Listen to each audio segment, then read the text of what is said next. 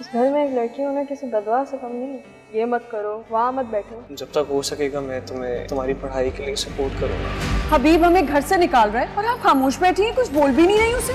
लड़कियाँ अपने घरों में अच्छी लगती है मैके में नहीं। मेरे हस्बैंड के आने का वक्त है। आप अभी जाए यहाँ से। देखिए पैसे तो आपको देने होंगे वरना हो सकता है कि आप किसी मुश्किल में पड़ जाए।